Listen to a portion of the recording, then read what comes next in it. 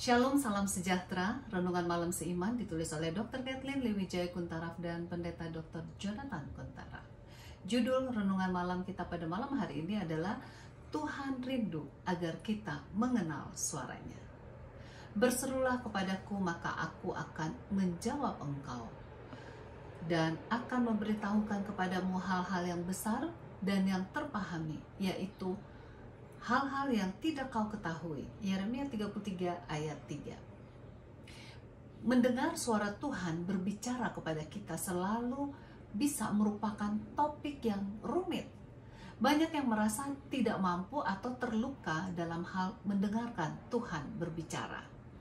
Malam ini kita akan menemukan keindahan dan kesederhanaan, kerinduan Tuhan bagi kita untuk mengenal suaranya. Sama seperti Anda, mengenal suara orang tua, pasangan, atau teman Anda. Mendengar suara Tuhan sangatlah penting. Inilah satu cara di mana kita dapat bertemu dengan Tuhan. Seringkali kita berpikir bahwa Tuhan itu diam-diam saja atau setidaknya hanya berbicara melalui Alkitab, melalui orang lain, ataupun melalui suatu situasi. Benar, Tuhan berbicara dengan cara yang disebut di atas namun ia juga rindu untuk berbicara langsung kepada anak-anaknya. Kitab suci penuh dengan kisah demi kisah mengenai umat Allah yang mendengar suara Tuhan serta menanggapinya dengan penuh ketaatan. Dari perjanjian lama hingga perjanjian baru, Allah dengan jelas berbicara kepada umatnya. Pertanyaan di hadapan kita malam ini adalah, apakah kita akan bersedia untuk mendengar suara Tuhan berbicara kepada kita? Yohanes 8 ayat 47 mengatakan barang siapa berasal dari Allah, ia mendengar firman Allah. Dan Yohanes 10 ayat 27 mengatakan domba-dombaku mendengar suaraku dan aku mengenal mereka dan mereka mengikut aku. Kita melayani Tuhan yang ingin suaranya dikenal oleh kita masing-masing. Tuhan tidak diam dan ia tidak pendiam.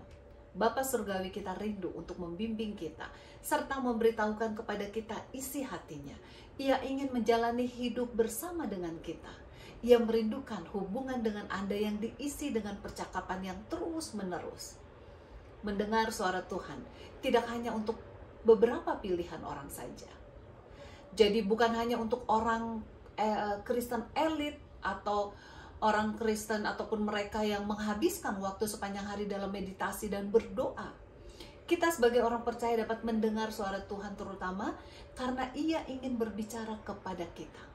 Kita dapat mendengar suara Tuhan hanya dengan kasih karunia-Nya. Jadi, seperti apa rasanya mendengar suara Tuhan? Melalui Roh Kudus.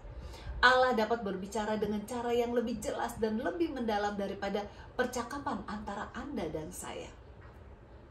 Dalam 1 Korintus 3 16 mengatakan, Tidak tahukah kamu bahwa kamu adalah bait Allah dan bahwa roh Allah diam di dalam kamu? Roh Kudus bersama Anda sekarang ini. Dan karena ia berdiam di dalam kita, maka ia memiliki kemampuan untuk berbicara kepada hati kita. Ia dapat berbicara dengan kata-kata atau memberikan intuisi atau pengetahuan tentang sesuatu.